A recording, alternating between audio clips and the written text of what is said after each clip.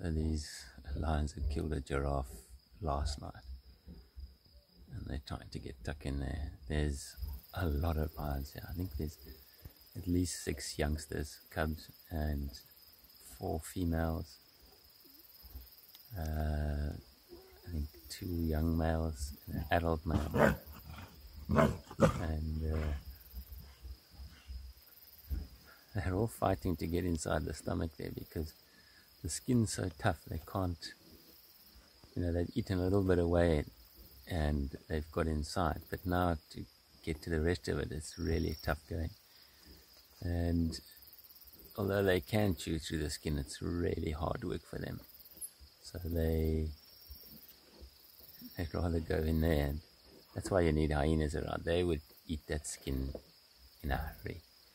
Yeah, it's hard work, but they've got those really strong jaws and those carnassial shears of theirs that they just go straight through that stuff. But I'm surrounded by lions here, so I'm this lion is lying here right next to the car. Panting away, she is so full. Her tummy is overloaded, and all that meat in there is digesting and fermenting, and so she's hot comfortable and bothered, yeah. But she won't be long and she'll she'll be back for more. Been getting some sleep as well tonight with these guys just feeding away. They've been feeding all night. It's, it's now I think it's about three o'clock in the morning. So crosses right up over there.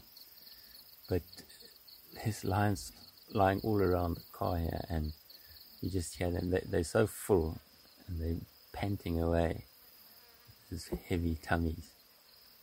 And so I'm trying to sleep and they're right next to me. I had to get up and come to my door. They would be at my level. I'm completely exposed, but it's it's quite a special scene. That very smelly one.